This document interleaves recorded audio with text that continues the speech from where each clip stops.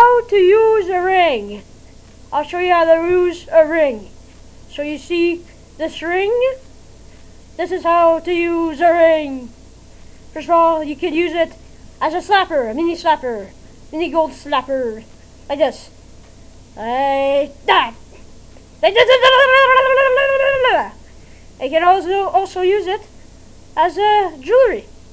Yeah, it's pretty cool jewelry. Yeah, yeah, I mean, yeah, yeah. Well, can you use it as a weapon? Here, I'll knock you out with this ring.